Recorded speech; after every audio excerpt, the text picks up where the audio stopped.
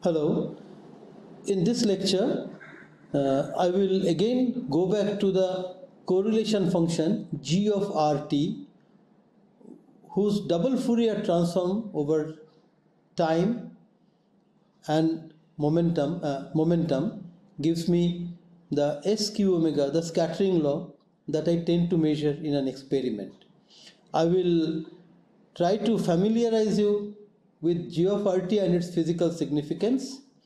And also since s of q omega and g of rt are Fourier space of each other I will also introduce you to the design requirements of spectrometers depending on the kind of dynamics or kind of structure that you want to see. Because you need to decide it beforehand and that will dictate how the detectors are positioned, how energies are measured, everything.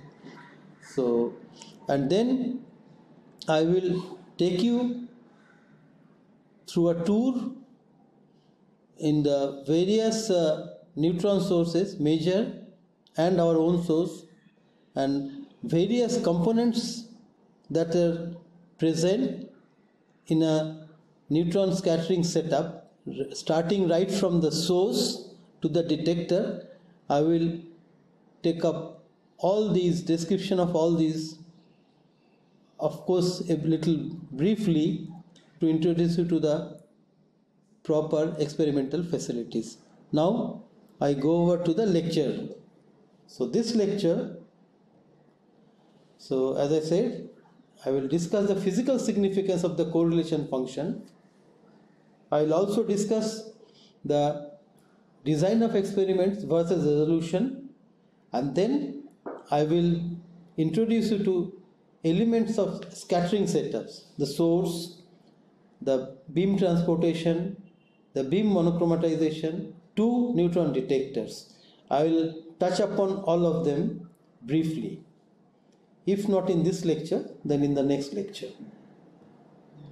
So I had indicated that S of q omega is a double Fourier transform of g of rt. So d3r e to the power i q dot r is one integration over space that takes me to the q space and dt e to the power minus i omega t over time that takes me to the omega space. So I measure instruments in which specifically I measure neutrons at a certain angle and if it's a attempt to understand dynamics, then I also try to find out what is the energy of the neutron because the dynamical process in a system like phonons, diffusion, molecular vibrations, they can exchange energy with the neutrons. Why it is not possible with X-rays is the fact that if I take a 1 angstrom X-ray, the energy is about 10 kilo electron volts so uh, the, to measure the change of milli electron volt on a kilo electron volt X-ray is difficult, if not impossible. Actually, presently in synchrotron sources using very high resolution backscattering instruments, one can measure energy transfers even of that order. But in general, I can broadly tell you that the energy transfer of milli electron to measure using a photon of kilo electron volt is like measure trying to measure a millivolt uh, change in voltage using a volt voltmeter which is calibrated for mega electron volt uh, megavolt uh, measurements. So now let's come to the correlation function which describes the time space correlation between the scattering units I mentioned this, consider a wave. Phonon is a wave. The position of one particle at time t allows me to predict the position of another particle at time t prime. Let me just tell you. We know that if there is a chain of atoms, let us just take a linear chain of atoms in a system I know if there is a phonon, then the phonon possibly goes like this. The phonon, that means the displacement of this is correlated with the displacement of this particle. It is also correlated to the displacement of this particle and this particle. So at any instant t, if I know the position of this particle r, or I call r comma t, that's more conventional.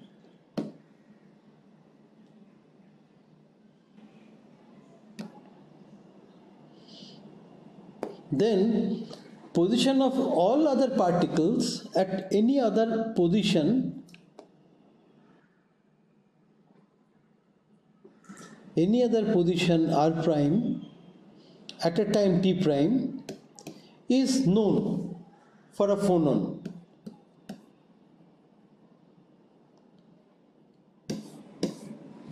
So that means this phonon dispersion relation gives me G of RT for this system.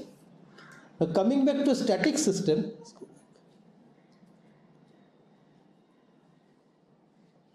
if I consider G of classical RT, now at t equal to 0 if I consider, this has got two parts because this is the sum of delta functions R0 minus RJT.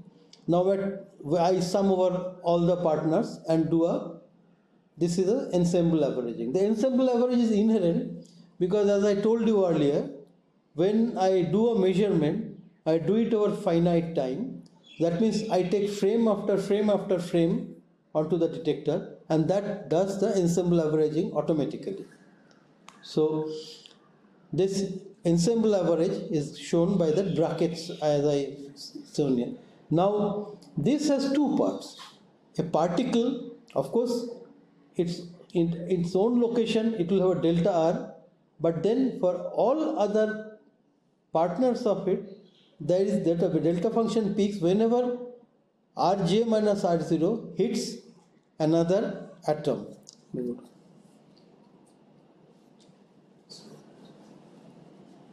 so let me again the same chain of atoms is a static thing I have got this chain of atoms I have this chain of atoms this means one, it has got a delta function at the origin and any particle can be the origin. So it's a delta R for this, for all the particles. But also whenever the distance, this distance, this is the, let us call it the, this is the jth particle, jth particle, jth. So whenever the distance is such that there is a particle there, I have got a delta function peak. And this delta function peak gives me not only the delta R I have got plus I have got a pair correlation function G of R. What do you mean by pair correlation function? And these are ensemble average. Uh, a simplest example, suppose I take a case of molten sodium chloride. I am taking a simple example. So there are Na plus and Cl minus ions at any instant of time, if I look at this molten salt, if I take a sodium, I can assure you statistically they're surrounded by a circle of chlorine minus because they are ions and they attract each other. And then surrounded by the chlorine ions, we will have maybe possibly another shell of sodium ions statistically. So this shell compared to this shell is more clearly defined. As you go farther and farther the these shells that I'm showing you they get diffuse uh, and more diffuse and finally I have constant density. So starting with one sodium as origin I have got a pair correlation function which will possibly look something like this. So I have got a peak uh, this delta function peak here which I am not plotting now the pair correlation function should should have a peak then smaller peak and then it will continue. So I have got a first in the first shell I have got a peak if call it R0 then whenever delta R R minus R R equal to R0 I have this shell and I will have a peak. And this is actually later when I discuss the the structure of liquid and amorphous systems it will come naturally I'll introduce you to it more in more details at that time. But what I mean is that in a in a static system, in a crystalline crystalline system, you have got sharp delta function peaks. But doesn't mean that when we have a liquid or amorphous system, there are no peaks. There are diffuse, but there are very clear short range order in such systems and that can be found out from the G of R that we can measure in an experiment. But G of R I have taken out time so I am not doing now in, for this experiment this is not a dynamics targeted experiment we are trying to look at the structure. So this is uh, if I may say a brief introduction to G of R or pair correlation function for a static case and for a dynamic case, as I told you, that given a phonon, an acoustic phonon, a transverse acoustic phonon, which I was drawing for you, transverse acoustic phonon, then uh, the displacement of all the particles are correlated and their G of RT is also well known. So we can find out S of Q omega for this also. This is a dynamics case, the dynamic case. So with this, I have introduced you to G of RT and uh, for a static case and for a dynamic case. Now I will come to resolution of an experiment and what can I do about it.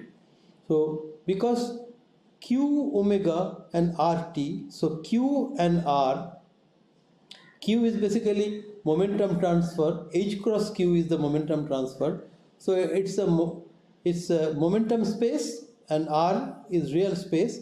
And they're related we know by the uncertainty relation delta P delta R should be of the order of H cross. And or higher than greater than equal to H cross. Similarly the energy transfer is H cross omega.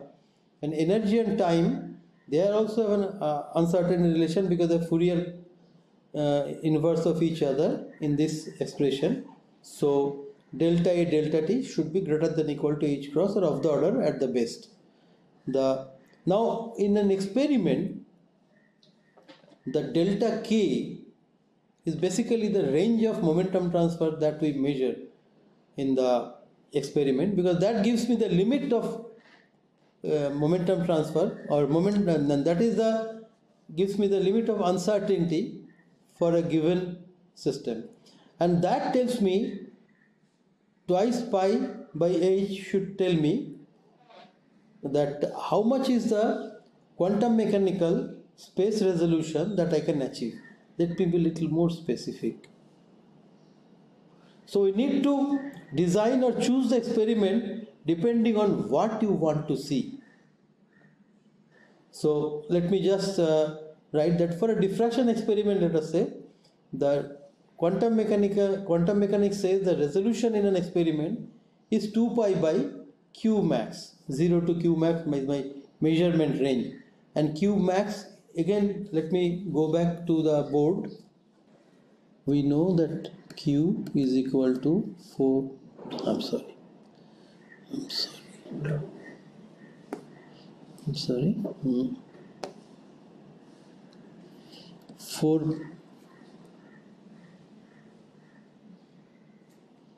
4 pi by lambda sine theta when the actually the beam has deviated by 2 theta. So half of that is sine theta and this is q is equal to 4 pi by lambda sine theta. This comes from a very simple geometry this is k1 k1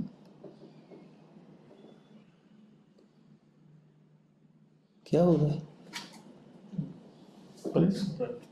अच्छा thread you see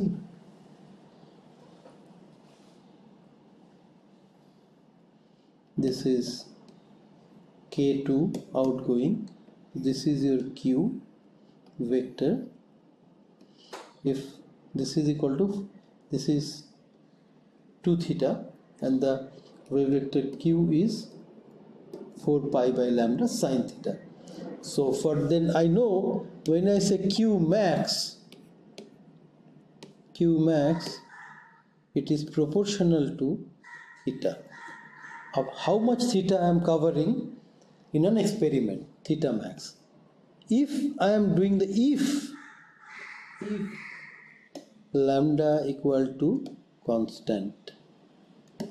I make this comment over here because from this expression you can see they can, I can also change the Q by changing lambda. I can go to smaller and smaller lambda and Q will become larger and larger and that's what is done in pulse spallation neutron sources but that will come later. What I mean is that here in an angle dispersive experiment your Q max depends on the maximum angle of the experiment. Then I can evaluate, let us say I want to go for a wave vector transfer of 10 angstrom inverse with 1.2 angstrom incident neutrons. One needs to go to scattering angles of around 140 degree, 2 theta equal to 140 degree. In a typical powder diffractometer, we have 10 to 12 angstrom inverse range. So you can see that we have to have detector moving from 0 to 140 degree and this gives me a quantum resolution of 0.6 angstrom for measurement of uh, the lattice parameters and that's reasonable because often lattice parameters are in the range of this. Now suppose I want to broaden the resolution that means I don't want to see the atomic structure I want to see some larger conglomerations. So I make my resolution 30 angstrom. This is not improving the resolution. It is making the resolution poorer. Then, and I'm using, let us say, a 4 angstrom neutron. All these have meaning later. Why I'm using 4 angstrom neutron? Because with a 4 angstrom neutron, for uh, having a resolution of 30 angstrom, we need to go to about 4 degrees. If I use uh, shorter wavelength neutrons, shorter wavelength neutrons, then to go to this kind of smaller q values, a theta also has to be much smaller. You can see that in that expression I wrote theta equal to 4 degree. Now you have a direct beam and you have to measure up to 4 degree which is sorry to okay. ah, yeah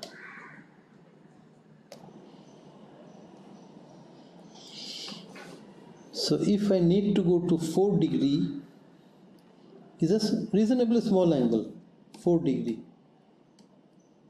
If we have to go to 1 degree let us say 1 degree because I want to go to 0.2 angstrom inverse using a shorter wavelength neutron then such small angles are difficult because you also have a direct beam which has got a beam width of certain angular spread. And the direct beam might start getting into this. So that's why I said that I will be using 4 angstrom neutrons and that's called a cold neutron. I'll tell you how to how we get cold neutrons. And uh, so we have to go to 4 degree. So this one the top one the yellow rectangle this is a typical test for a powder diffractometer for crystallographic structure where we are going up to a wave vector transfer of 10 angstrom inverse. Similarly for a resolution of 30 angstrom other way around we need to go to 0.2 angstrom inverse. Look at the difference 10 angstrom inverse, 0.2 angstrom inverse. With a 4 angstrom neutron, we need to go to an angle of around 4 degrees. So, this is an example that I have taken, which is a typical small angle neutron scattering or SANS case. Here we don't see the medium as consisting of atoms and crystal crystallographic lattice, but we are looking at conglomerations which may be 30 angstrom, sometimes it can be even large, 100 angstrom, 200 angstroms, and these are inhomogeneities in a system that we can be studying. So the need of what we want to see dictates the spectrometer. So, and we have to design the spectrometer, various spectrometers depending on this need. So I will come back to this in the next part of the talk, what we can see with neutrons in condensed matter.